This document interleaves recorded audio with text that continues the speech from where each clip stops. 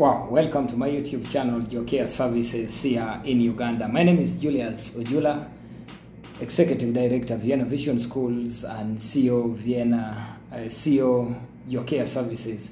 And I want to welcome you to Jokea Services. Please subscribe my channel. You will be able to get a lot. And today, I really want to share with you few things, and those are only three, three things and the most important of it is all about self-esteem. Guys outside there i know we have so many people outside there. And a country like uganda we have uh, very many youths who are aged 18 to 30 years or 35 years. But please this is a right time for you to work hard for you to know yourself for you to value yourself and the most important thing is to know what we call self-esteem. Self-esteem is how you value yourself, how you think about yourself. Some people can think negatively about themselves, others can think positively about themselves. And what do you need to take? One, you must know where you need to take, the direction you're taking. Are you thinking negative about yourself or you're thinking positive about yourself? Don't wait people to talk about you. Sometimes people can talk negative about us, the use, about you as a person, that you cannot do anything. That one is now a muyai, that one is now a sag, he cannot do anything. But it's only you to tell yourself that I can do something.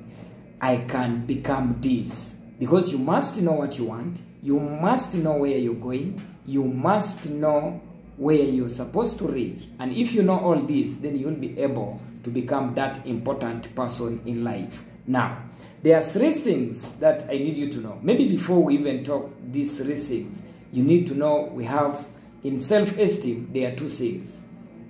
We have the high esteem. High self-esteem then we have low self-esteem High self-esteem, that is when you have the healthier esteem about yourself. You think positive about yourself.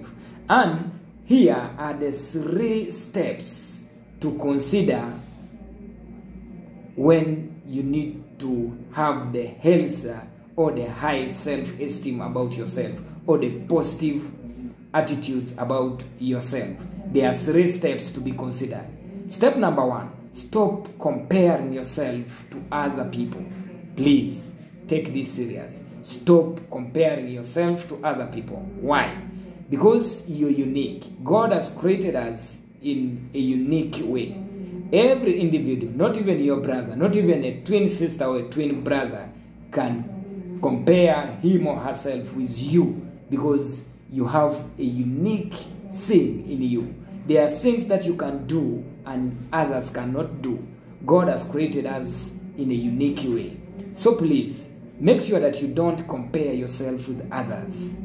Tell yourself, I can do this. Because there are people who can say, ah, the other one went to the university, but he has done nothing. Today he can, he, he, he is not even, is not even a well-known person. He's not even rich. I think there is no way I can even go to school. There is no way I can start this. Then there are people who will say, ah, for me, I cannot start this because Simon or the other person started the same thing and he failed. No. If that one failed, for you, think positive about yourself and say, I can do this.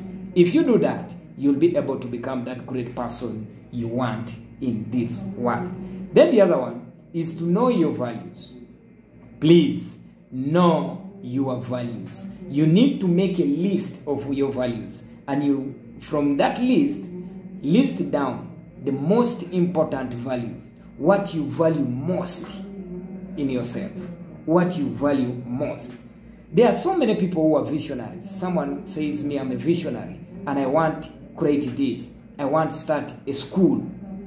If you tell yourself that thing that talks to you is the inner voice and that inner voice communicates to you now that vision it's only you who knows if an idea comes to you say i must do it and if you're doing it do it without getting things from other people because you're unique alone so please list your your values and start respecting your own values. Are you respecting your family?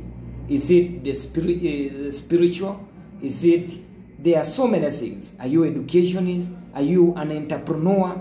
Please list your values and you must